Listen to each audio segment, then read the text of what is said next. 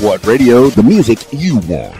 With your host, Keys Dan. Once again, I find myself at the mercy of someone I wouldn't let pick my nose. RadioWhat.com. What's up, party people? It's Keys Dan with RadioWhat.com, DJLittleRock.com, coming to you live and in living color from the Radio What studios. And this is my podcast, What Makes You Famous. It's an extension of the RadioWhat.com internet radio station that I've been running for quite some time. And if you need DJ services, where do you go? DJLittleRock.com. Check availability and get a free price quote. And maybe you could have me at your next event. You know, I like to party with the people. I'm very honored and privileged to be with people at their best times in their lives, celebrating their weddings and birthday parties and anniversaries, you know, even the corporate events. You know, when the boss gives you a little, hey, you know what? You did a good job. Let's have a party with Keys Dan. Yeah.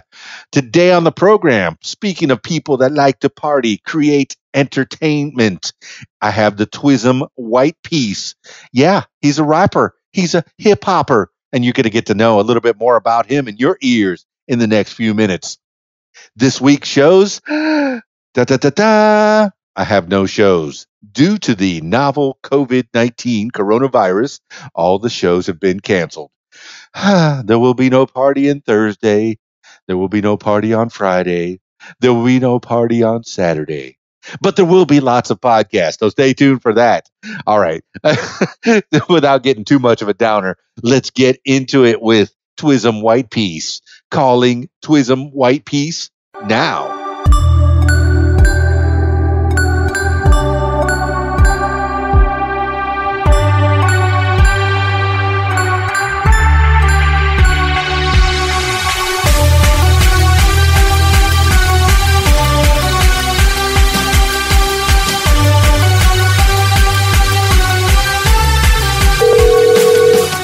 Hello. Hi, Twizm Whyte, please, please. Yeah, speaking. Oh my goodness, it's Keys Dan with the What Makes You Famous podcast. Man, I've been excited to talk to you for quite some time. How are you doing, man? I'm blessed, brother. How are you today? Oh, super duper, man. Twizm Whyte Piece. I hope I'm pronouncing that properly. Yeah, but for all points and purposes, man, you can call me TWP. TWP. I like that, man. I like that a lot. We'll give the people a little idea of who TWP, the Twizm Whyte Piece, is? Uh, shoot. Um, okay. Um, a multi award winning hip hop entertainer that is a father and a husband and a CEO of a radio station. I like that, man. I'm guessing that radio station is Diamond Edge Hip Hop Network. No, that is the uh, Facebook page. The radio station is FCR two four seven. Okay, all right. Well, uh, yeah, I see that. Yeah, the thing is, yeah, the, the URL after facebook.com is FCR247. Yeah. It makes a lot of sense, man. So uh, tell the people, oh, I mean, uh, looking through your YouTube and looking through all your various social medias, and you are way out there. You've got uh, content after content. I can see you've been going hard at it for at least six years, man. Tell me a, a little bit more about how you started and how you became who you are, man? Um, really just kind of a long progress of leading into today's world. I mean, I wasn't always. It kind of just lack of options and a really talented vocabulary, I guess would be the best way to say it. But honestly, in all truth, man, I always wanted to be a, a hip hop artist. I just didn't choose the life path towards it. I always chose something else. And then when all said and done and the dust settled, I was finally able to uh, pursue it. So it's nice to it's nice to be able to pursue it now, right? Well, it sounds like what you did was uh, you you got a fallback. You you got a uh, a Joe job, uh, something to make maybe the parents happy or maybe the wife happy or or something. Uh, to something no, to fall back no, on. Quite the opposite. No, quite no. the opposite. Okay. Man. I was I was heavily involved into like gangs and heavily involved into like ah. uh, prisons and and and a lot of a lot of bad negative stuff. well, out of that pain comes uh, creativity. I fully believe that, man. And and yeah, listening to your you raps, listen to you, yeah, listening to you rap way. all day long was just it's very timely. From six years ago up till right now, you say what's yeah. on your mind, and you're not afraid to to call people out. I mean, a, a, a little known person named uh, Tupac used to do that as well. Are, are do you have Yeah. fear of repercussion? No, not whatsoever, man. I mean, I don't, I don't believe that there is such thing as a, a repercussion. I mean, you can't, you can't hurt somebody that's already telling the truth. You can't hurt somebody that's already been to the bottom. You can't, you know what I mean? Like there are some people out here just kind of unfazable, and that's the people who are bringing you like the realness because they're done with all the silly stuff and they just put it out there like it is, right? So. So when did you find that you had this skill uh, for rapping? Uh, was it something that you were able to do in the school ground and, and on the playground and and uh, get people to listen to you uh, uh, while you uh, kind of uh, rat- rattled things off, or was this something that you, know, were writing? Be, be honest with you, it, it did start in school, but it wasn't really respected like that. Like it wasn't like you know everybody's like, oh, you know, we used to sit in the in the playground. No, they really kind of looked at me like I was outside my realm and like they didn't talk to me and I was an outcast. So I mean, it wasn't until I started mixing other circles other than than you know those that my parents or grandparents wanted me to hang out with. You know what I mean? It wasn't until I started mixing circles that I started finding people who absorbed and and reciprocated the respect of what I was able to do and the talent that I had. Uh, well, since you mentioned the parents and grandparents, let's take it back. Uh, it looks like uh, well, we're looking at your Facebook page and you know doing the the little bit of research that I I have done. Uh, you're from Yeah. a small town called Page, Arizona. Tell me about Page, Yep. Arizona, and growing up as Oh, a small beautiful. TWP. It's beautiful. I, I actually was born there. I didn't live very long there. I was born there. Um, my mom met my dad, and it was kind of like one of those brief, you know, um, not long lasting kind of affair marriages type thing. And uh, in the mix of that, I was created, and then from there, they each chose their own separate path. My dad committed murder.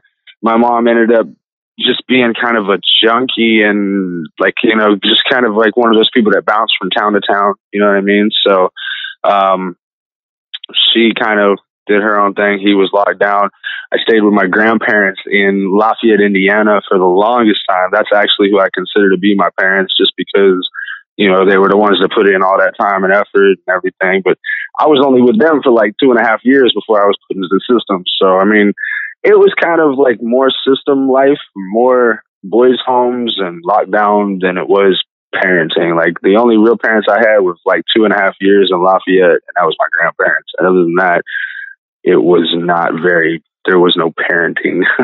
Yikes! Well, it sounds like I mean Yeah. at least you have some kind of memory of of your kinfolk uh, from from somewhat, but uh, it sounds like you you got uh, bounced around a lot as a young D- TWP, and you went from Lafayette. Was it mostly in in in Louisiana? no, Lafayette, Indiana. Indiana. I'm sorry. Yeah, I'm sorry. small little town outside of uh, a small little town outside of Indianapolis. So Gotcha. I, I think I spent like my first year there. I, I don't remember being there, but but I, I have pictures of, of me and my cousins in Indiana. So uh, yeah, I, oh, I- nice. you know, I I, I, I, I feel your pain. Uh, mo- mom and dad, uh, mom and biological didn't stick together too long, and I saw him Yeah. every once in a while. He wasn't quite quite the junkie. I mean, you know, if you listen to my mom's podcast that she did with me, she'll tell you about all the all the uh, the various substances she went through. But that's a whole nother Yeah. story. I mean, so uh, Yeah. yeah. y- you know, you so you dealt with that. Did you at least get a get to develop some kind of relationship with your mom or your dad or anything at all like that? Um, mom, not so much. Uh, that's that's that's just blown out of the water. There's no hope for that relationship. Um, it was very strained to begin with for the years that that it was a relationship. It was very very strained. Mm. Um, and then she just kind of made even more mistakes and even worse mistakes after that. And now she's back in prison again. So I mean, it's it's one of those things where just the relationship on that end just kind of fell out. Um, my father, it we didn't even get to meet each other or talk to each other. Like I've never met him, but Mm. I've spoken with him because he got out. Uh, he did a 25 to life sentence, and he got out um, back in 2010, I think it was 2009, 2010. No, it was even later than that. I think. I don't know. It was probably 2010, I think. But uh, when he got out, I had already moved to a different country, so I kind of didn't even. It was. It, it's just you know another strained relationship, right? You know, it, it, it's in progress though. That one's at least in progress. Yeah, and I guess you know where your mom's at. You know, she, Yeah. she she's in Yeah. place. so, so and, and the grandparents are they still around or? Uh, my grandmother's still alive. She's off bopping around the world, you know, enjoying her her her uh, well earned, um, you know, freedom and, and peace of mind. Hey, get Uh, it, my grandfather, rest his soul, he is he is already gone and passed away. So, oh, um, but So, you know, he lived a about- great life as well. well, tell me about growing up in Boys Town, Boys Life, boy. You know, getting uh, was it was it at least did you come up with any brothers and sisters that you can people that you can call friends still maybe or or was it just total? I mean, total during the boys' home era, no, no, there's there's just really nobody there from that. You know, that that that that's all different, different life, different, you know, mentality, different aspect of of people that I, you know, don't even really much associate with anymore, right? You know, it's just different mentalities. But um, it really was more of just a, a bouncing around. Like I was in seven different, you know, institutions and boys' homes in the state of Indiana within two years. So I mean, like I got passed from one to the next. And the next thing, you know, partly my fault just because I wanted to act reckless and wild because I was reacting to not having any parents because they took basically the judge said that my grandparents weren't physically because they were both disabled so they weren't physically able to take care of me Mm. and so that's why they ended that's why they forced the terminacy of, of guardianship after two years and then they put me in a boys home and i was like you know what that's that's jacked up man why you be putting me a boys home like that for you know just because i had no family so then they it was just one thing after another after that and then i kind of just went on my own little you know my own little spiral and that lasted for probably like i don't know 15 years I mean, TWP. I, I could see somebody lashing out to, to with that kind of a of of a of, of an upbringing. You know, you really you, you didn't have anybody to latch on to. You know, Uh, you- you're Oh, supposed to man, have. that, that is that's well said, but at the same time, I mean, you know, I kind of don't. I don't. I don't like to put crutches on things. So I mean, you know, there, there's no excuses for how I acted or what I did. But oh yeah, most definitely, there was no connecting with anybody. That that that was that's a guarantee. well, I mean, somewhere you had to have some kind of school life because you came up with this amazing vocabulary. I, I got to call you That a is- lyricist, man. I read a lot of man. I read a lot of books, and then when I say I read a lot of books, I mean I read a lot of books. See, when you're locked down, man, the one thing that they always seem to have at a boys' home, or they always seem to have at an institution, is a library. Yeah. And one thing that those kids don't want to do is they don't want to read. So there's like tons of books to choose from, and like I don't know, I just kind of picked up one one day and then never stopped reading after that. And I mean, I was reading stuff that was like huge. Like back then, it was you know monstrous. We're talking Lord of the Rings when it was a book. You know, we're talking The Hobbit when it was a book. you know, we're talking you know all seven volumes of C.S. Lewis's you know uh, uh, what is it Chronicles of Narnia. You know what I mean? So I mean, there's you know there's some some weight in the vocabulary that was added just because of of reading and boredom, but. I also did go. I, I, I did a little bit of college and stuff, and of course, you know, you learn stuff along the way there too. You know. No, but it sounds like reading these amazing books by these amazing authors. There's a reason that they've stand that they're stood the taste the test of time. Uh, they're well written. Yeah, exactly. you know, and if you're learning from uh, from these authors, i it's a good education in itself. And I'm glad you, you you you had the wherewithal to go to college. I mean, what what did uh, TWP want to be when he grew up? You know, if if uh, I mean, Yeah. I've always wanted to be the hip hop artist, right? Like that is that's all I've ever wanted to be. All I've ever wanted to be was the rapper. Oh, that's as long as I can remember. Okay, I I mean, I don't even know how long it's been. It's just the earliest memory I can think of. I've always wanted to be a rapper.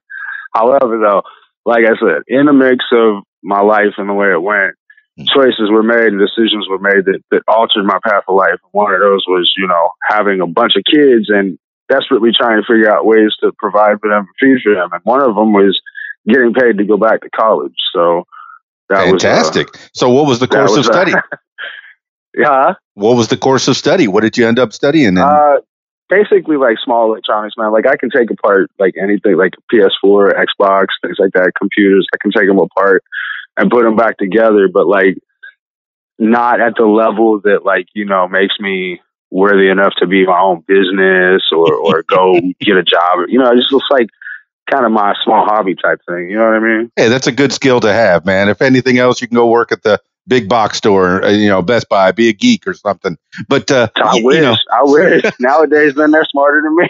but thankfully, you came up with another skill, man. You had this Yeah. to fall back on. I mean, there's a lot of artists out there that are starving, uh, you know, that that that can't make it. They want to be rappers, but they don't put the work in. And you put the work in, Yeah. man. You, you, you wrote these lyrics, and like I said, your YouTube is ridiculously full of content. Just uh, you know, song after song after song. You got so many lyrics in your back pocket, man. That was it poems that you were writing in school. Who? What was the teacher? What was the the adult that said, "Hey, you're pretty good at writing, or you're good at at talking or speaking"? I mean, there was somebody guiding you, or was was this all No. divine intervention? Yeah.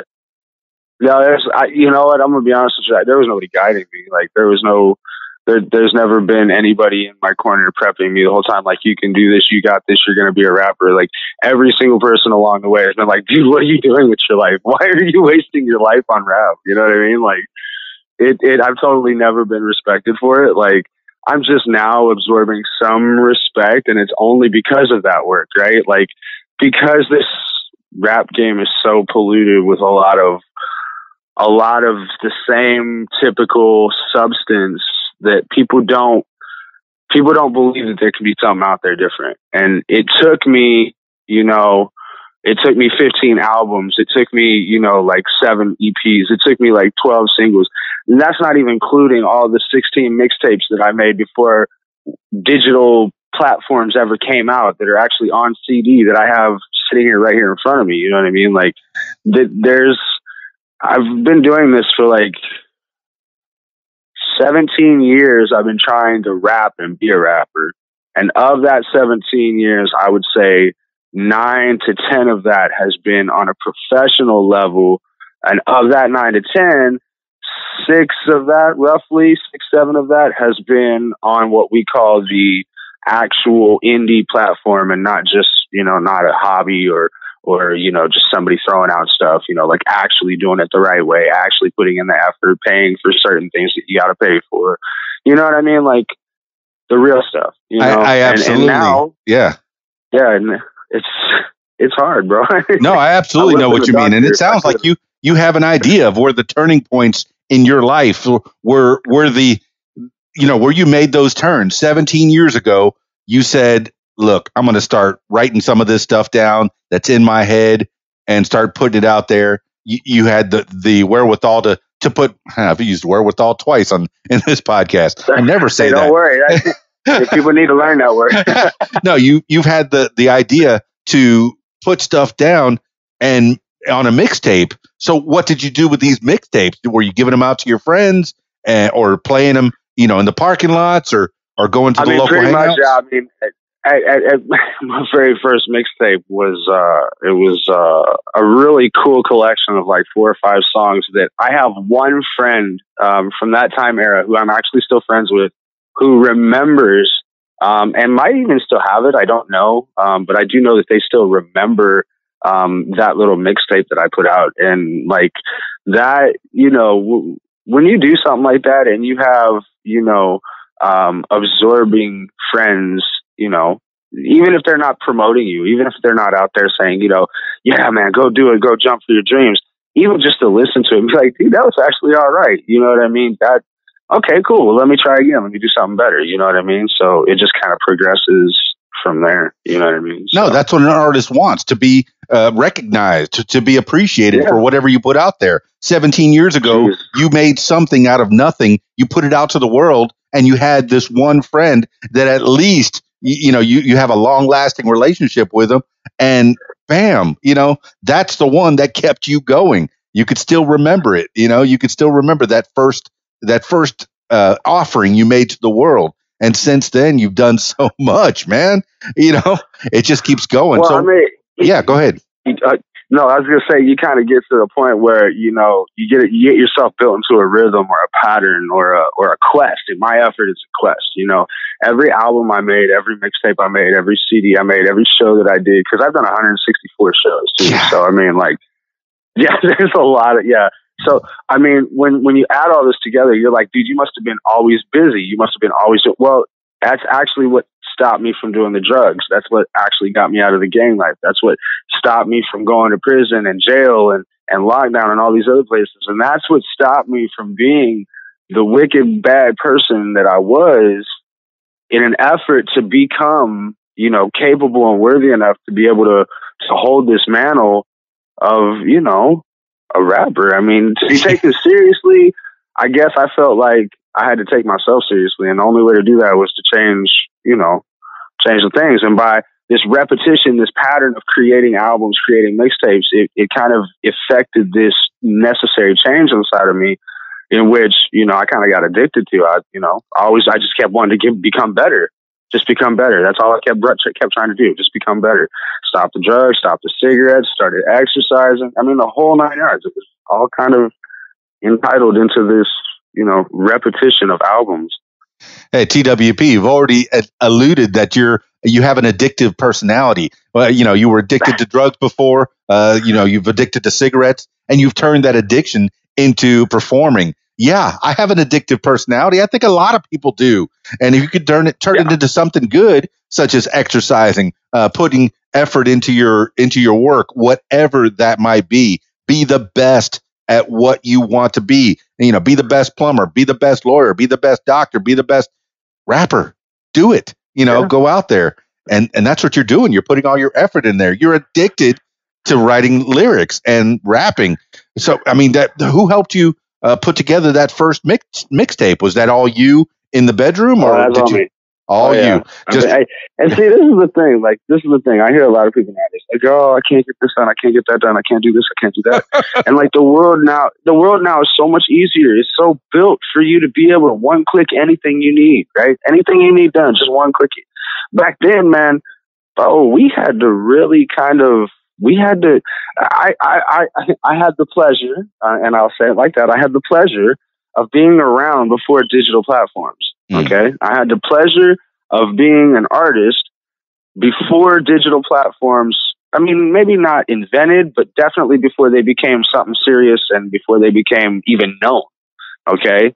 And I'm going to tell you, like, there's so much work and so much effort. Like, my kids, you can ask my kids, man. They all they their childhood, they remember. Oh, all dad did was sit in front of a computer all day long and work on his music because that's how long it took me. It took me hours upon hours upon hours. Like I can get my work done now in 10, 15, 20 minutes. I can write a song in 20 minutes. I can record it in 20 minutes. I mean, everything is like 15, 20 to me, right?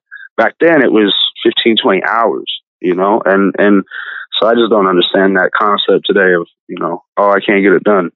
TWP, you're hitting the nail on that head, man. Uh, these kids today, oh, you just got older in one second. But uh, you know, I, I, was listening to another podcast where they were trying to to make videos when they were kids, and and how do you distribute these videos? You you had to have two different. If you wanted to edit a video down, maybe you took maybe it was a skateboard video, and you took a bunch yeah. of, of video uh, uh, uh on a video cassette of skateboarders and how do you edit that down into something that's consumable you had to have another tape player and play a little yeah. bit and record play a little bit record yeah. you know yeah. and and then well, how did you distribute it? i had dvds i had dvds and cds right? But even so, so I mean, I, if you did yeah if you didn't have youtube or any other platform that was playing the videos you had to distribute these right. things by hand and hopefully right. the people that you distributed them to would put them in their home dvd player instead of putting that uh, that new edition of Batman or or uh, you know whatever show they, they, else they had to watch, you know, hey, let me take some time out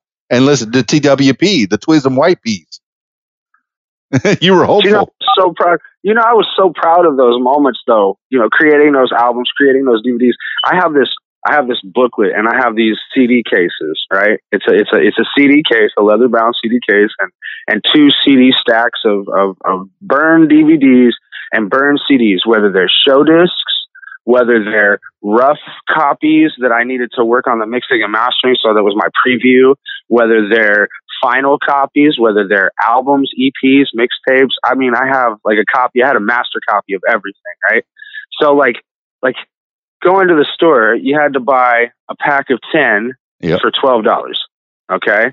So you got a pack of 10 for $12 and you had to make those 10 be the most I mean, you had to hand them to the right person. I mean, like, were you making I mean, the covers yeah. and maybe yeah, putting a sticker yeah. on the CD, right? You know, yes. yeah, doing it all, doing it all. Oh, I remember. I remember. You know, I, I'll say it on the on the podcast. I might have dabbled allegedly into pirate CDing. You know, but uh, you know, it was really just making CDs from our family and friends. You know, Yeah, but uh, yeah. you got to realize that the, the artist got to be paid. But yeah, go on. T- tell the tell the people what it was like burning your own DVDs and CDs. I mean, that was probably the most frustrating thing I've ever done in my musical career because if you made the smallest of mistakes, if you the smallest of mistakes had you had to start all over again. Hmm. And and we didn't have like USBs, you know, USB saving where you saved it on the USB. You had to burn everything. So if you were collaborating with somebody else, like that in itself was a hassle because there's a disc for the beat, then there's a disc for the beat and their verse and the guide. Then there's a disc for the beat and you. Then there's a disc for everything together. It's like, oh my God, you know what I mean? But hey, you know, we've we've progressed. We're in the new world. It's actually easier. I love it now. I I find that, you know, now nowadays, dude, I just write so many songs. Like I don't even bother because the mixing and mastering, you learn it after a while, right? And so it becomes so easy that you just hear it. You just Man. hear it in your ear. it is high quality and very bass driven, man. I was listening to it in my car and I got a pretty good system. It's not, you know, it's a factory system. It's a, in, in the Ford and even the new cars are coming with these pretty good systems, but you were Yeah. really pushing the bass on these. And then the lyrics were just, oh man, you had me going all day long, man. I, I, I have a driving thing that I do and I was listening to TWP all day getting ready for this. And, and man, just, Yeah. Ba- who's, who's making Well, let the me ask beats? you a question. Let me ask you a question. Please. What's your what's your what is the one that stuck out to you the most? What is the one that you you know after listening all day you just go back and you're like, you know what, that one was just that was incredible. Well, I mean, I, you know, I'm, I, I watched the videos, and the Unstoppable video is amazing, but the America one, uh, shoot, it was one that was more Welcome to America. Welcome to America. The video for that one and the lyrics in that one so powerful, man. You were Okay, naming so names. Unstoppable. Unstoppable. I had assistance from um, a guy off of Fiverr who actually does videos. Okay, so you know that that one was uh, uh, made for me. But I take so much freaking pride in Welcome to America because I wrote it, I made the video, I created. I mean, and, and not only that, that's my best. It's got like forty some odd thousand views on it, man. Like I am so. If I am ever remembered for anything, I would love for it to be that one. You know what I mean? Because that has the most. It shows the most ability.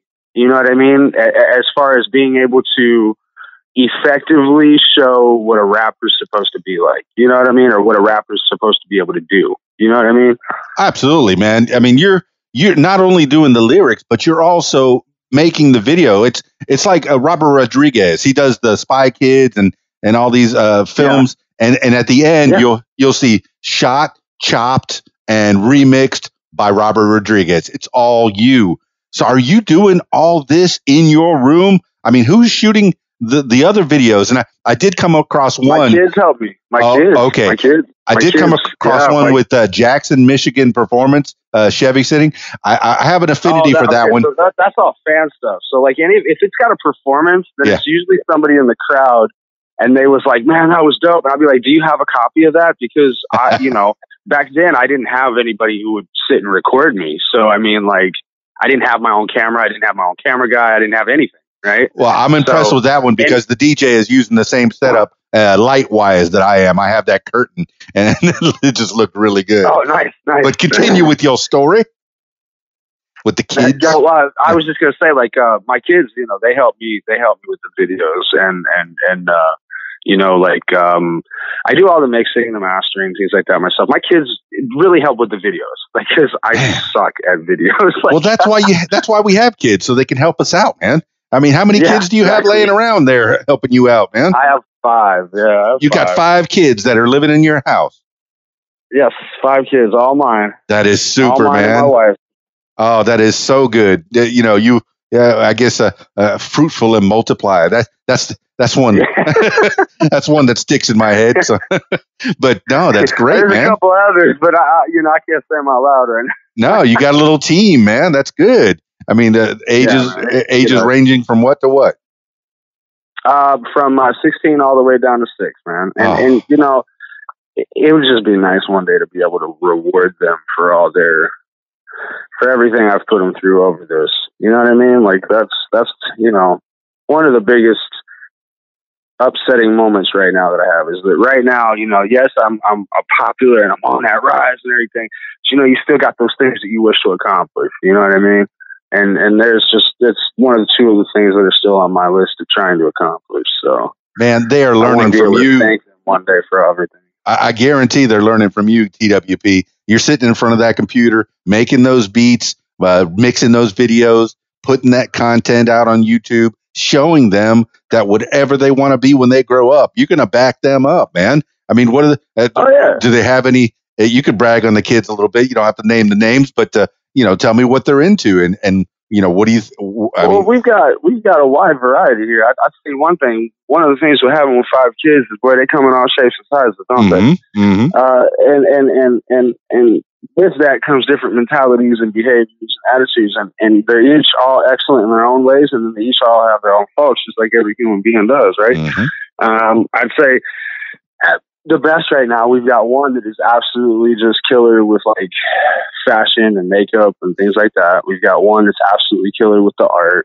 We've got one that's just absolutely a comedian. She's just she's gonna be a comedian for real. She's just too funny with everything. Mhm. Got another one that is like I don't know. He's just he's one of those type of people that no matter what he does, he's just really good at it. Right? Ah, and then we've got another one that has had kind of a rougher start to like with life with the disabilities and the surgeries and everything is like that. And so we're waiting to see how he turns out once everything's fixed and done and over with for him. Well, you built yourself up a team, man. TWP Productions all the way, right there. I mean, and now, hey, brag on the lovely wife. Uh, you know, what is she doing?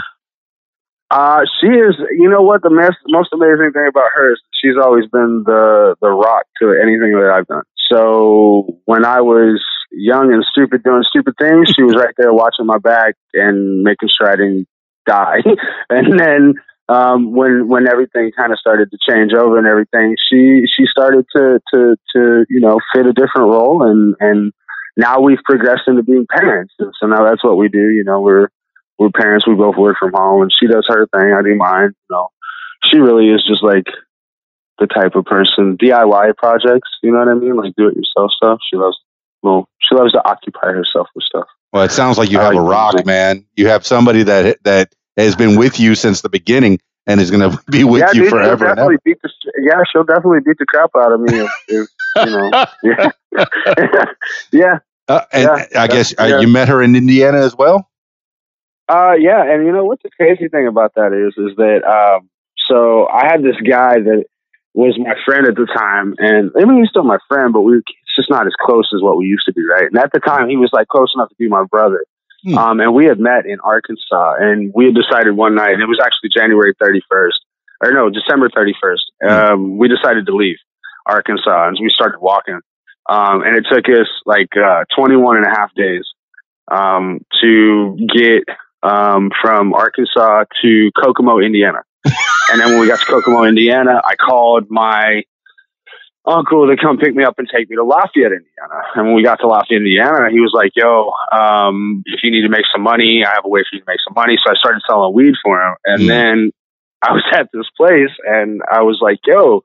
You're really cute. And she's like, Yo, what do you think about hair? And then we just kind of started talking from there. And then, you know, it just kind of turned into this. Okay. I mean, what do you think about weed? we were on our- Legalize it we everywhere. way- but the thing of it is, is that we were on our way to Canada, and Well- she's from Canada. Well, let let, let Right. let me let me let me pause you. What do you think about weed? Let's get your your political views uh, for a second. Oh, I Uh, am all for it. I all am for it. totally. I mean, like, I, I, if if anybody knows me, they know the one thing I do is I smoke weed. So, like, I am all for it. I believe in the power of it. Um, I believe in not only the medicational and the herbal therapies, as well as the psychological and psychosomatic effects of it. But I believe that it is one of those things that may not work for everybody. So, to each their own, Mhm. right? Um, but there's you know there's an aspect of my life in which I am very thankful um, that weed has been there because if not, I probably would have done a lot worse things. Like I, you know, I used to be a really bad addict. And I was on a really a lot of different crazy out there drugs. And it was always weed that brought me down when I was too far gone. It was always weed that got me focused back right on the track when I was strung out and, and, and you know what I'm saying? So like, I believe that if you use it appropriately and if you use it the way it's meant to be used, that it is no different than any other stress relief product out there, such as yoga, such as meditation, such as stretching and exercise or music or anything else. It's just about the way, you know, consumption and, and it's about the, the, the, um, how do I want to say it? The, not, you can't abuse it, right? You have to be, you know, appropriate with it and use it the right way.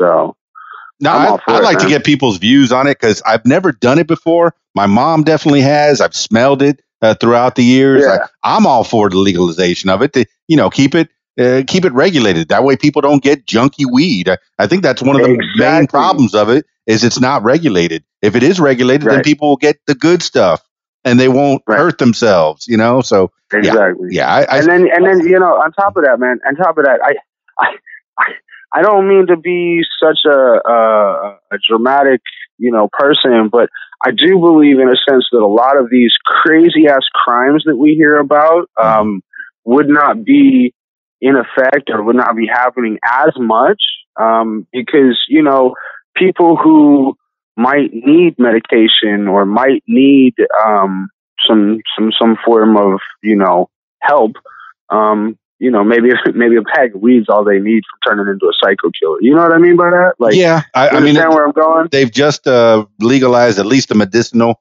Uh, just down the way, there's a a, a, a what is it, the the a place to get your your, your marijuana legally. Uh, you know, so yeah. It, you know, here in Arkansas, it's, it's been like, uh, yeah, what do they call it?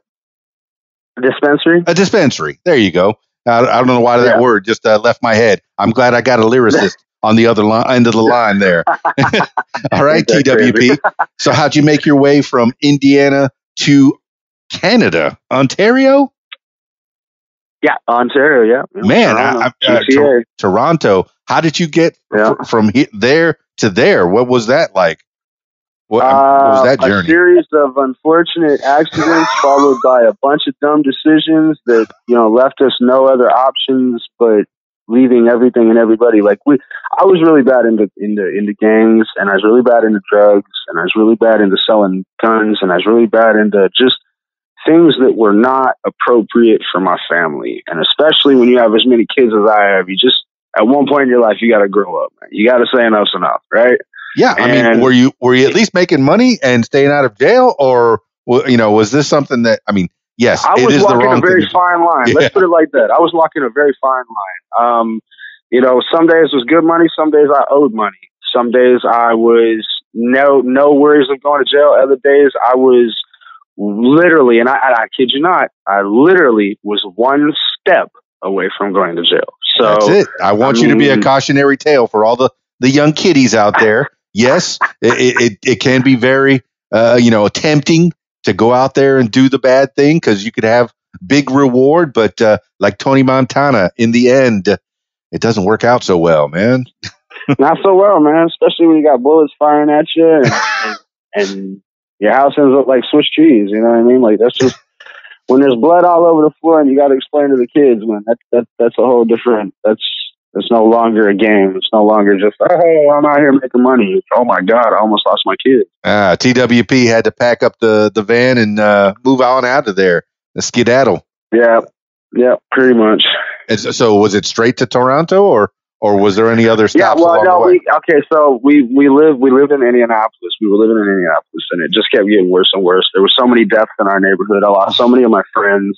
Um, and then when the drive-by happened in my life, um, my son and my my wife um, were affected as a result of that, and because of that, they were there was a lot of we we had to wait five months for my son to be in the hospital because he was born five months early.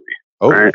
okay. And it was a really really bad horrific situation. So during those five months, we were living off the streets. We were living out of motels. We were living off of whatever we could because My house was shot up. It was Swiss cheese. I couldn't go back to it. So like we had no family, no home, no nothing. You know what I'm saying? Like I literally walked into the school one day and asked the lady who was the social worker at that place. I was like, "Look, man, I'm about to walk out of here, and I ain't got nothing to feed my kids, and I ain't got nowhere to go." I was like, "Can you please call one of the homeless shelters and let us in?" And she's like, "I can't do that," but she's like, "Here's 150 bucks." She's like, "Go get a motel room and go get your kids fed."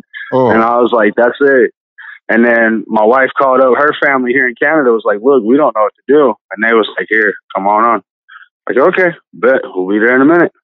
Give you a room to stay in, and a place to stay for the kids, or you know, help you get set up, yeah, or what? Yeah, for a little while. I mean, a little while, but then you know, we got our own system set up and, and nice. started working. I mean, it was a hassle for the first little while because you know legality issues and just new to the country stuff and whatever, whatever. But once that was all fixed, it turned into uh, it turned into a cool little blessing. I can't lie. Hey, it's good to have family to help you get back on your feet, man. I've had to I've had to move back home uh, at a way too old age in my life before, and I'm I'm you know I've uh, I've made it back out, and so I'm I'm glad you did too, man.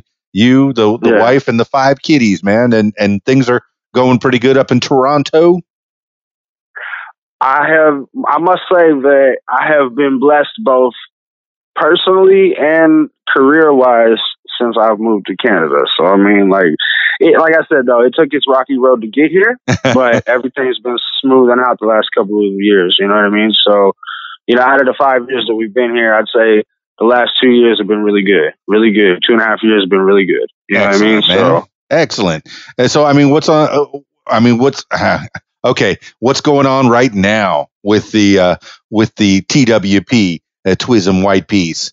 What are you doing right now these days? Now that we're locked in the house, I'm hiding my face in a mask and staying in my room, afraid of the world. I mean, like, what else are we supposed to be doing? No, seriously, like, I'm I'm following the rules that are set down, you know, by by the professionals. You know, I don't I don't want to be the reason why, because you know, a couple of my kids they have they have some medical issues. I don't want to be the reason why, you know, uh, something bad happens to my family because I didn't want to take it seriously. You know what I mean? So.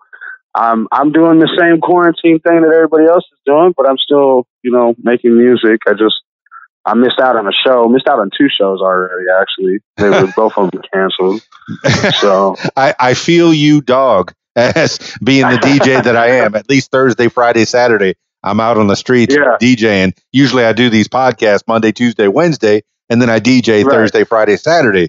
Uh, that Yeah. hasn't been working out. So there's a whole lot of podcasts in people's ears, and I'm glad to be talking. yeah, well, see, I've been I've been soaking into the radio station, so like I, that's like I completely understand the podcasting because I've almost been tempted to just start going back to podcasting myself just Oh, out yeah. of boredom. Oh yeah, Um, but then I remember, you know, I, I have like I have podcasters that are on my station, so I just like, you know what, let me just promote them. Let, let me just promote them. That way, I'm not overloading myself with a bunch of extra work that I don't need. Right? You know what I mean? yeah. I mean, I'm happy to take the time that uh, time off that, that I've been forced. To, it's been forced upon me, and uh, promote other people. I'm promoting Twizm. Whyte Piece, man, and your radio station that you have out there. That's fantastic, Yeah. and, and it's nice with the internet. We could do this from anywhere in the world. you, got your Fat Cat Radio going on out there. Uh, what kind of music do you? Yeah. I guess it's all hip hop on Fat Cat Radio.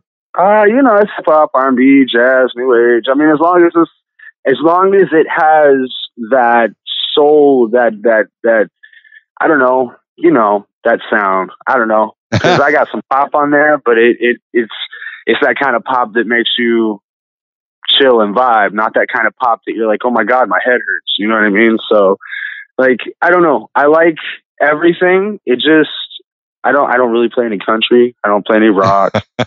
um, but I don't really get much submissions for that, right? You know, people find out, oh, you're a hip hop artist, so like they submit mostly R and B, pop, you know, jazz. I've had some jazz. I've had some really crazy people send me some like spoken word stuff, and it's like, okay, well, I mean, you know, I'll play it, but if it's not getting responses, I'm not going to keep it, right? You know, that's that's how that goes. Well, I mean, the, the way that I've had RadioWhat.com play is whatever I like, I figure somebody else is going to like it. If I don't Yeah, like it, I'm not going to play it.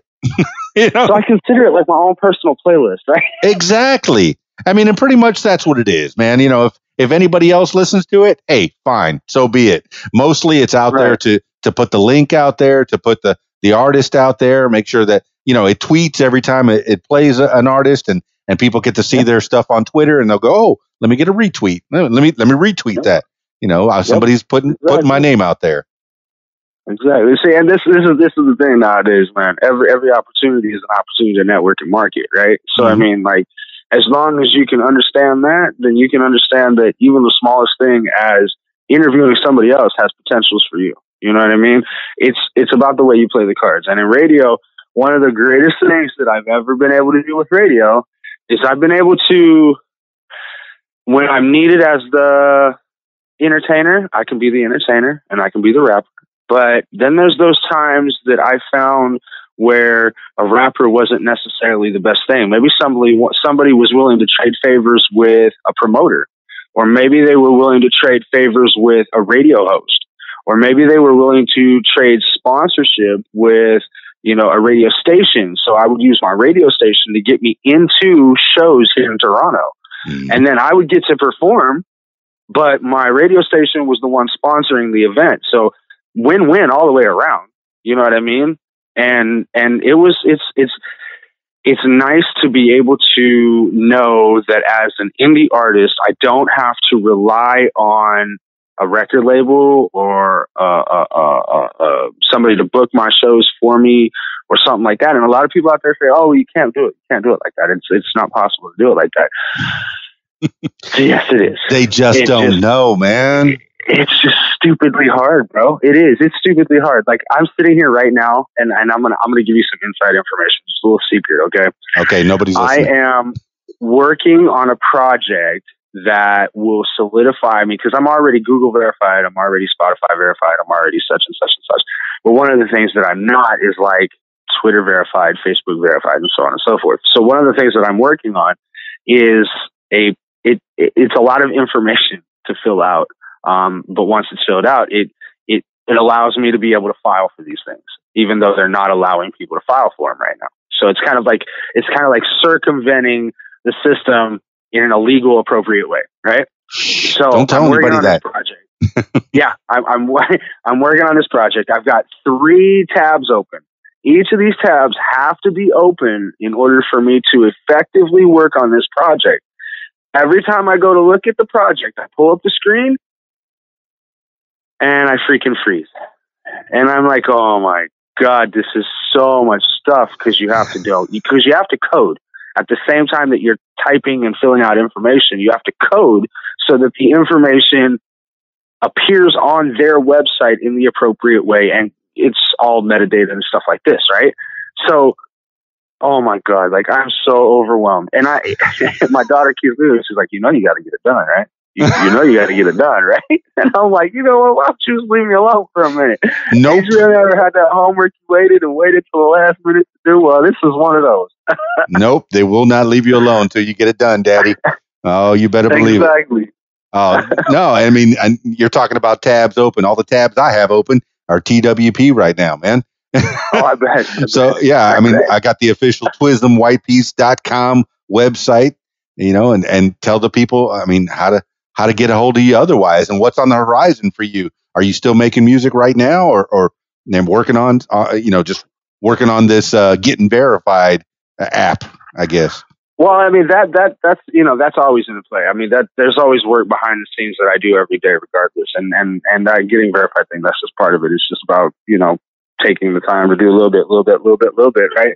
The major things though is I mean obviously I just released this amazing EP with a guy named Furious. Um, it's called Theory of Id. Mm-hmm. And that's a three track kind of, um, it's a unique twist on what I do. I mean, normally I'm all about love and, and unity and, and being the best that we can be. But, you know, I'm also a real artist, and with that comes, you know, anger and frustration and, and pain and suffering. And, and so it, it's, it was an EP to uh, embrace that in a way. And so we did that, and it came out very, very well. And it was it's been very well received. I can't even lie. Like it's not even. It just came out.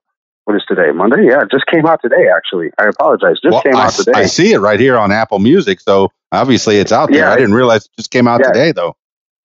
Yeah, no, it, I, think it was today or the fourth. I can't remember. It's either the sixth or the fourth.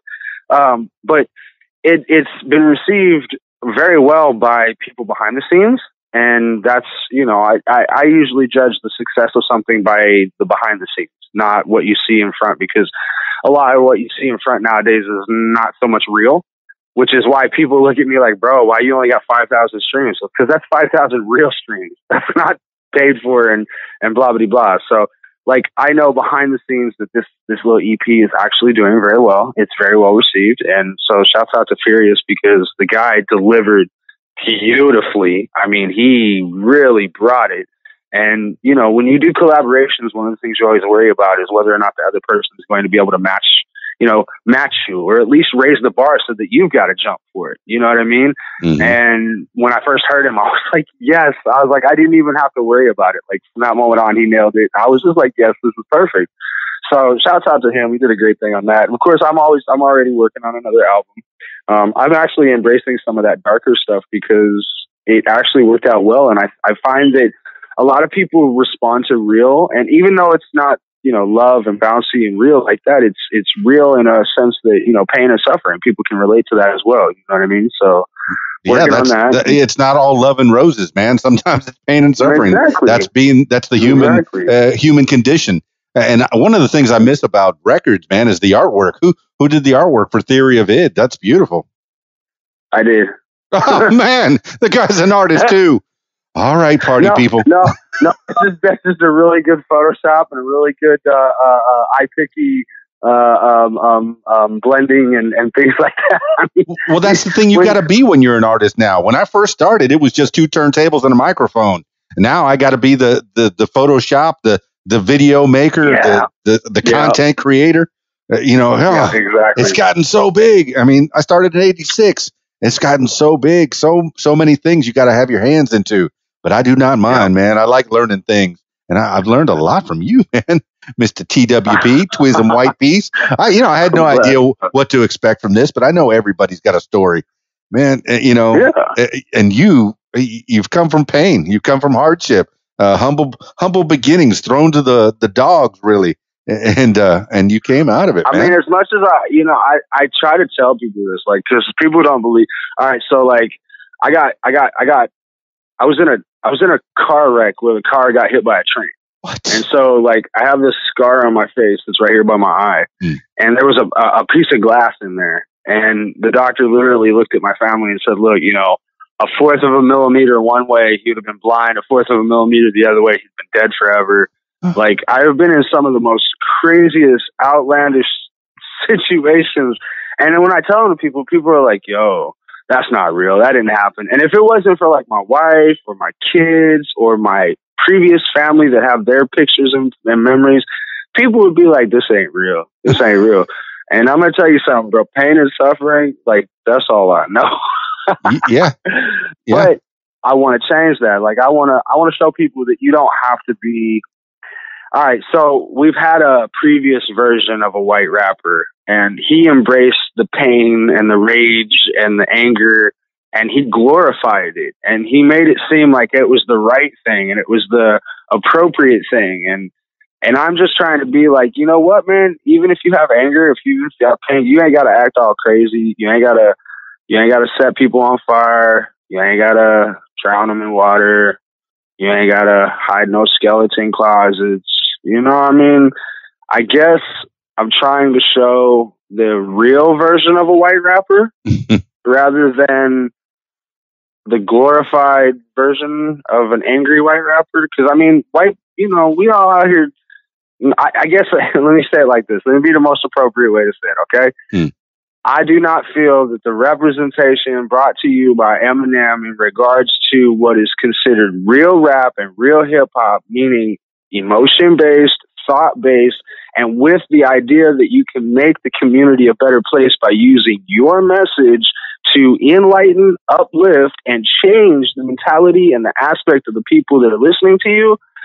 I don't feel he did that. And I still don't feel he does that. And I still feel like he's wasting his legacy by being selfish and only caring about himself while there are millions of people around the world suffering.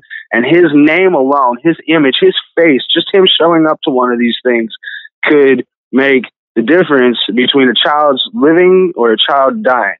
And that's all I'm trying to do, man. I'm just trying to become big enough as a rapper that I can use my name and my status to help people out in the world because man, what y'all already seen ain't real. And he would get bombed on. Like, there's so many people I know that beat the crap out of him because he's fake and he's not real. And he he left Detroit in the dust. He left his people in the dust.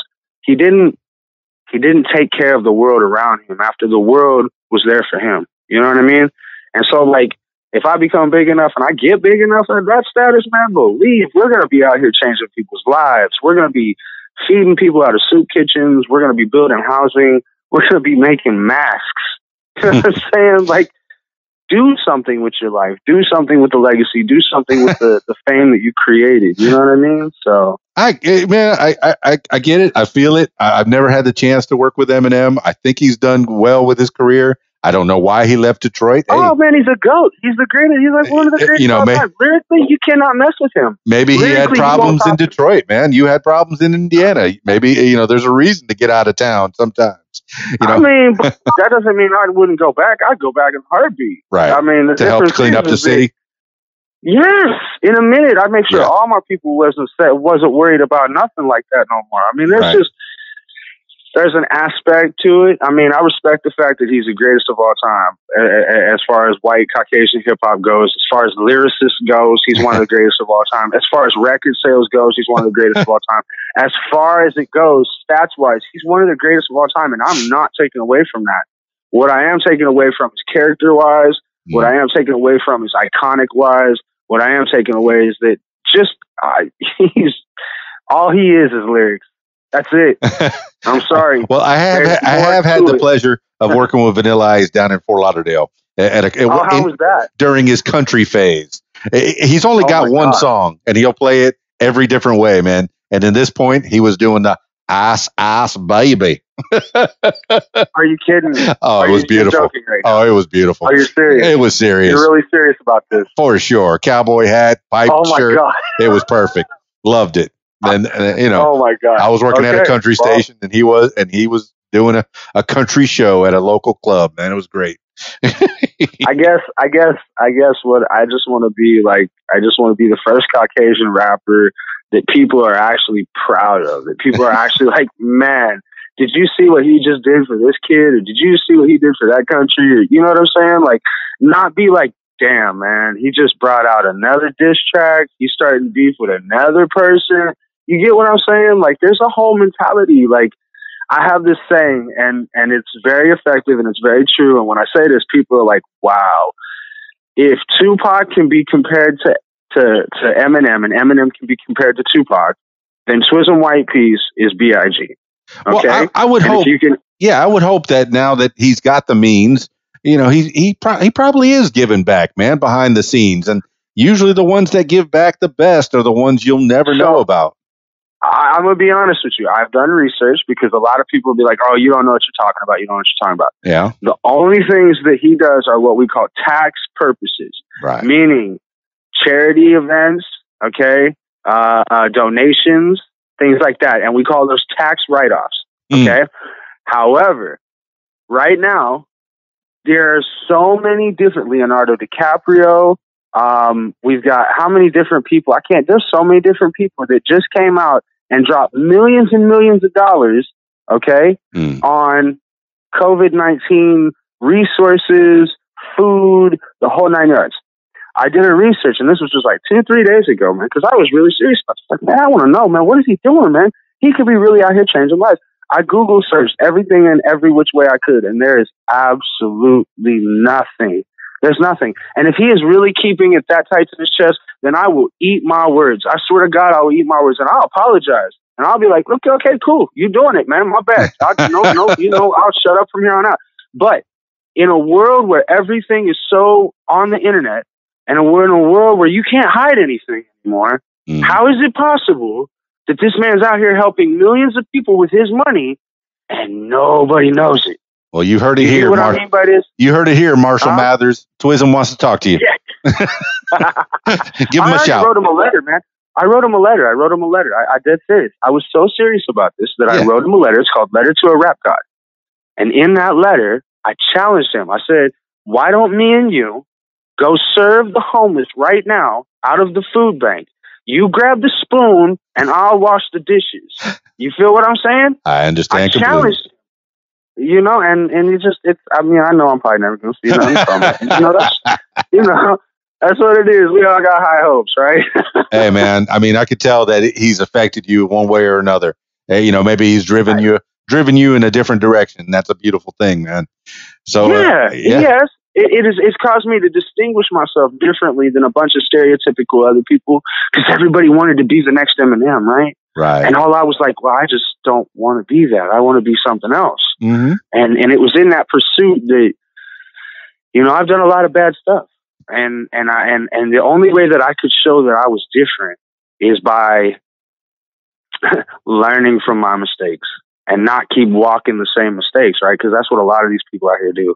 A lot of these people get on a track, they talk about, you know, oh, I'm gonna be the next millionaire, I'm the greatest rapper of all time, or the next set will be like, oh, I'm out here whipping these cars and getting these hoes, or the next set will be like, man, I'm about to kill everybody while I'm serving this drugs to everybody. I mean, it was always the same typical stuff, right? Mm. And I never found, I'd never seen anybody that came out and be cool about love and be cool about being cool with the next person. And I was like, you know what? I'm to be that dude. I'm going to be that dude. I'm going to be the dude that shows you it is okay and it is still cool to be nice, to have manners, to, to not disrespect people, to not disrespect women, okay? To not jeopardize little kids' lives by selling them guns and drugs, mm-hmm. okay? I mean, like, I don't know. There's a better way of life. There's a natural order, and it's when we buck against that natural order that everything goes wrong. You know what I mean? Yeah, you've been down that road. You could learn. Uh, they can learn from your mistakes. They they can't live long enough to make all those mistakes themselves, man. I think they've learned a few lessons from you already. And the kids, I mean, I think they're going to do just fine having you as a daddy. That's beautiful, man.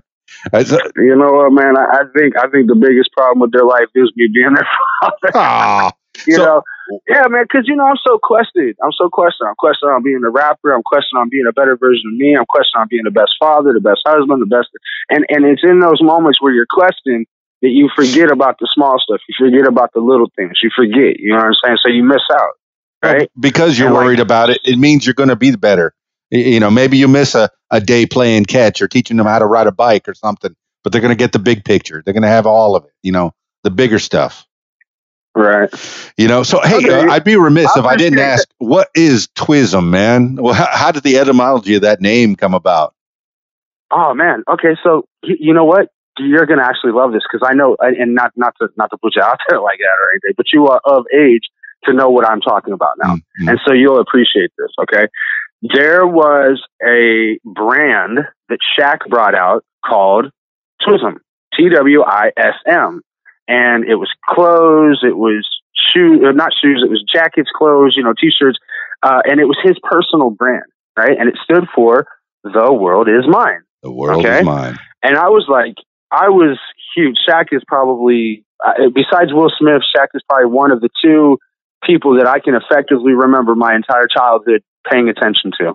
Like I was always watching Shaq every time he played basketball. He was he's still in my my opinion my favorite, and and and and so on and so forth. Like I would give anything to meet this man in person. You know, that's that that's that kind of thing. You know what I mean? Fangirl type thing. You know what I'm saying? You, you're going to laugh. He- anyway. he's held my microphone before. Are you 1994. kidding me? I was working in Orlando at the at the Edge, and you know, there's a whole group of kids. Kurt Cobain had just died, and you know, people Oh, are wearing Kurt Cobain that. shirts, and, and this is 1994, and and uh, I see this head over the crowd. Me, I have a perch over the top. Uh, it's like a big warehouse, and he comes up Yeah, yeah. and he says, "Hey man, can I get the mic? Put this track on. You know I got skills. You know I got skills. You know I got skills. I I had that man. I, I that, that, one of the greatest things of my life, and I, I still have that microphone sitting here in my closet. so yeah, That's so cool. That's so cool. You know Yeah. I got so yeah, it's, it's it's definitely like that. It's definitely like that. Like I would totally put the microwave microphone away for life. I, that's that's exactly what I would do. put it on a mantle somewhere, frame it. You know what I mean? The whole nine yards. But yeah, no. So I mean, like he had the brand, right? And it was called The World Is Mine. And I was like, you know what? I'm not going to try to copyright infringe or anything like that. So I started out as Twizm MC. okay. um, T W I Z M. And everybody where I lived at is is of the urban nature and they were like, "What the hell is that? What does that mean? We can't even say." So they would just call me by my street name, which was Whyte Piece. and so Okay. just- and yeah, I just I had to put the two together because people who would watch me on stage would know me as Twizm, but the people who knew me in my real life know me as Whyte Piece. So I couldn't be like, "Yo, Twizm's about to have a show." They'd be like, "Who is that?" I'd be like, "Okay, Whyte Piece." But if I said Whyte Piece to the other group, they'd be like, "Who the hell is that?" And I'd be like, "Okay, no, Twizm." So it was just easier to be like, you know what? I'm Twizm Whyte Piece. so I, I get it, man. Keys Dan has followed me from the Florida Keys, and here I am in, I, in Central I, Arkansas. I wanted to ask you that myself. I wanted to ask you where the keys part from. I mean, because I mean, I had a I had a couple of theories of my own, but none of them were none of them were even close to to the Florida Keys. Nope, nope. I you know I I have a half a million pages out there on my website, and I didn't want to change them. I'm lazy. I'm lazy. I'm old and lazy. I understand. But someone who's not old and lazy, it's you. It's you, man. You're working. So, after we get out of quarantine- I feel old and lazy though, bro. I feel old and lazy. Well, after we get out of this quarantine, man, where are you going to go? What's what's the next show? What what are you planning? What's on the horizon for I Twizm Whyte I mean, Peas? If, if, if everything is back to normal by May, which I know it won't be, Hmm. um, there's the show's supposed to go back on again, right? So they, all they do is kind of postpone it by a little bit. But it, I, I know that it's not going to be. I mean, the way Toronto is right now, we're in almost we're past the state of emergency. So I mean, they're getting ready to lock everybody down. So we're we're at that point now where shows are non-existent. So me, being the old man that I am, I'm dusting off the the what do I do button and gonna start streaming live performances out of the basement and I'm gonna put up a green screen and I'm gonna I'm gonna make it my style, you know, Twizm Whyte Piece flair and and then all the grand ooh that goes with it, but it's just a solo performance in my basement streaming Well, can I, really anybody do now, you know what I mean? So I, I think there's hope for us that China uh, was quarantined. Uh, I think it was January 23rd, and they're just now getting back to work uh, in April April 6th here as we are as we're and that was on a full quarantine. That was on a full lockdown quarantine, Yeah. not a social distancing quarantine. That was on a full lockdown. So I don't really see it happening too soon. Hmm. I could definitely say maybe by July, August, maybe. That's what um, scientists are no. predicting. I mean, some of them have gone for uh, eight, 18 months, but uh, the, the Well, more optimistic Canadian ones. Here, yeah. our Canadian doctors here are predicting 18 months for Toronto. Yeah. But that's because everybody here won't practice safe distancing. So. yeah. I miss hugs. All right, Yeah, TWP. it's so crazy now. Yeah. Okay, go ahead. No, No, go no, ahead. go ahead. It's so crazy now.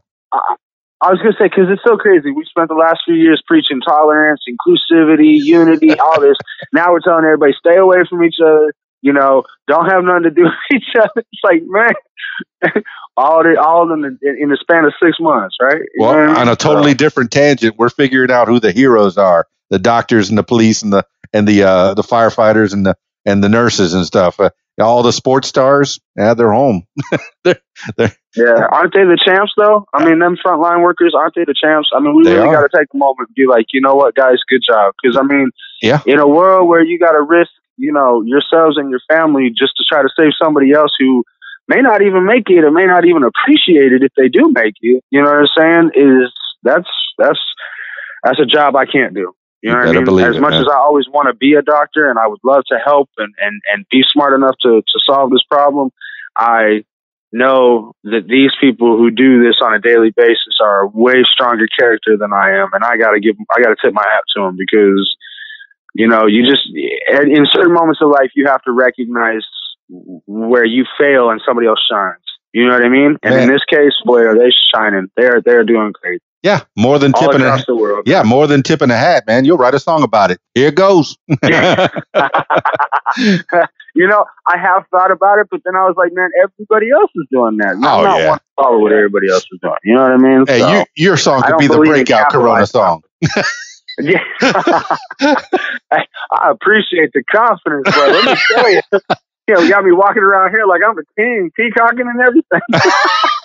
All right, my man. I, I've taken a, a lot of your time. I, I look forward to, to me, meeting up with you. You know, if e- either you know as time progresses, as you get out of uh, of the quarantine and break out into the world and and do more, Yeah. man. Uh, get keep keep in touch with me on the progress, but uh, let the people Oh, know how, to, how to get a hold of you. TWP, Twizm Uh, Whyte Piece. I mean, everything is Twizm Whyte Piece. I mean, you go you go to any platform, you just type in Twizm Whyte Piece. If it doesn't come up, then you, you let me know on another platform, and I got to fix that because. As far as it is right now, you should be able to search me on any platform under Twizm Whyte Piece and it pops up. But for those more specifically, you know, people those like those specifics, I mean, we've got YouTube that's official Twizm, uh, yeah, official Twizm WP. We got Instagram, official Twizm WP. We got Facebook that's real TWP. We got Twitter that's Twizm Whyte Piece. We've got I don't know. Just Google me, I guess. oh yeah, don't- you're I- you're well branded, you know- man. I, I googled Twizzle Yeah, White like- Piece and everything came up. I got your Facebook, Yeah. Twitter, Instagram, fa- uh, your other Facebook, your LinkedIn, your Spotify, your iTunes, and, and your uh, yeah, e- everything's there. And I even have the uh, the link for Diamond Edge Hip Hop Network. Uh, you know your that's my Facebook business, there. right? You know, a business had to have its own personal thing. I couldn't keep every. You know, it was amazing that I went for so many years having everything under just one thing. Right. Back when you know it was just regular. You know, there wasn't all this governments. You know, has to do it this way, and these rules apply, and these laws apply. But before all that, man, I was just Twizm Whyte Piece, and I was just doing my own little podcasting radio station. Now it had to be differential, and everything had to be split, and so on and so forth. So. Oh yeah, the internet station used to be Radio Keys, Dan, and uh, you know actually uh, my wife named it. You know she, I said, hey, what should I name uh, my radio station? She has, she said what? And so Radio what? There you go. nice, nice. That's actually really cool. That's actually a really. It's a lot better than my story. You're you're gonna freak, man. Go ahead. So I was just a radio host, Uh-huh. um, and I was a radio host for a radio station called Two Loco Radio. Mhm. And then a guy came and approached me and was like, "Look, man, you're so amazing." Because I won two awards for being a radio host, right? Excellent. And the guy was like, "Man, you're so good at being a radio host that we would like you. I, I'd like to start a company with you. I'd like to start a radio station with you, which was called Fat Cat Radio." Thirty days after we started this thing, and he we created this contract and everything, he died. and I was like, "Are you kidding me? I now am full ownership of this 100% legal, ready to go radio station." And I'm like, okay, I'm not going to let this go. This this must be like one of those tucked away egg in a basket, save it for a rainy day kind of things. Because I mean, I, I wasn't ready for it. I wasn't expecting it. But I'm going to tell you something. From the moment I've got it until now, I've never had any problems taking care of it, and that in itself is that's crazy. Like financial wise, promotion wise, it is. It's always seemed to just fall into place. You know what I mean? So man. Yeah. yeah, yeah, totally.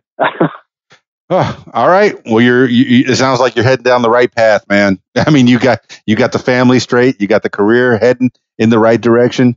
Uh, and let's see if we can get you some more listens, man. Hey, you have at least one new subscriber, and that's me. Uh, Oh, in, man, addition to your two That's what it's all about. two two hundred. What is it? Two point seventeen k. Two hundred seventeen thousand people are subscribed to your channel. I think you're putting out enough content. People are people know who you are. I appreciate you being on the What Makes You Famous podcast, man. Thank I you. mean, I, I, I, I guess everybody sees me as more of a success than I see myself, right? You, you know, everybody sitting outside of the thing always sees, you know, better than what you can see inside of it, right? So, I mean, I appreciate the sentiment. I appreciate the compliments. I appreciate the belief and the love and the support. I just am going to say the same thing that every other artist does, man. It really boils down to, to you, the listener, the fans, the supporters, man. If you guys want me to succeed, you guys want me to be a success, then all it takes is listening, sharing, retweeting, supporting. You know what I mean? So that's that's ultimately when I hear you when I hear people say it like that, I'm like, that's that's all it's about, right? Yeah. I mean, I can sit here until I'm blue in the face saying the same thing over on a different track every different way, but unless somebody's looking back at me and saying, "Man, that's a good job. You're doing a good job. Keep going," it's really for nothing, right? No, that's what keeps the artist going. Is is the the accolades, the the coming up Yeah. to you after the show to the merch table and saying, "Man, that really touched me. That that was a good show." Yep. Thank you, TWP. Yep, Thank you. Uh, usually, I, I finish these things off with the last words for the people. You know, if you got any any ideas or or anything that pops into your head, words to live by, or just whatever pops into your head right now at this particular moment in time. Uh, Twizm Whyte Piece, last words for the people. Remember that in everything that you do, in every action, every decision, in every situation, and every opportunity, it boils down to one thing you. Do you have the power? Do you have the willpower? Do you want it bad enough? Or are you just pretending? When people say, you know, I want to change my life, do you really want to change your life? Or are you just pretending? Because if you really do, then you are going to make that difference. And that's, that's what it comes down to. You know, people need to be understanding that they have everything within themselves to be whatever they want to be. And they don't have to be held down by socio-economical factors, um, environmental factors, life factors. Anybody, anywhere, at any time, even if they need help, can change their life. It just starts with them having the desire to want to change, to want to do better.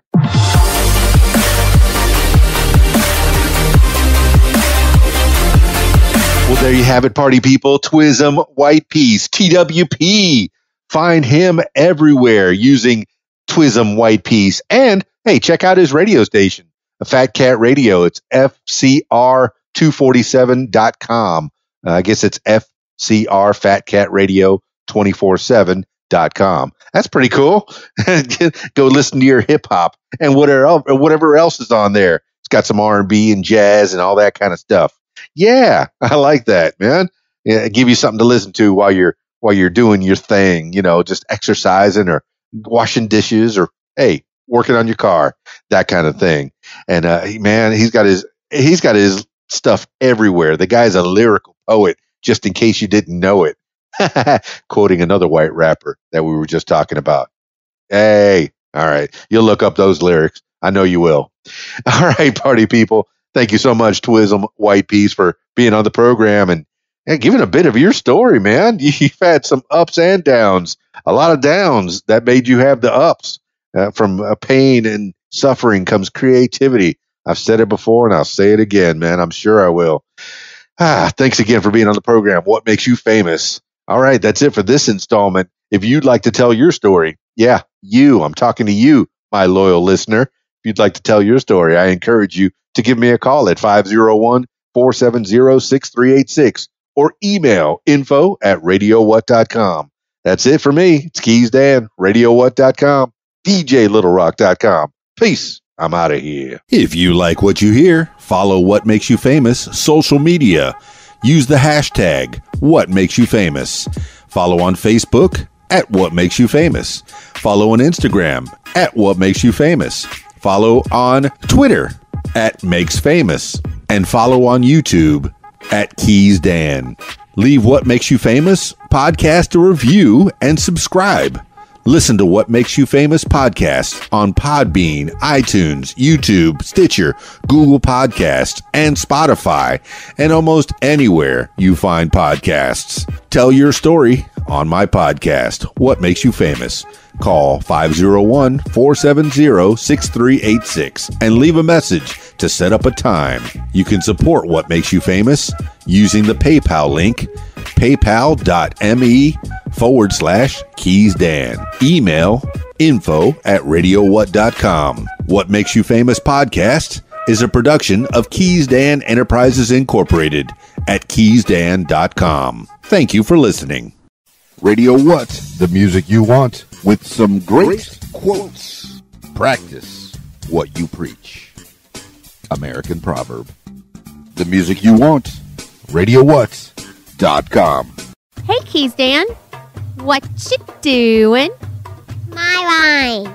I'm playing the best music by request 24 hours a day. Click on the request tab at the top of RadioWhat.com. RadioWhat.com.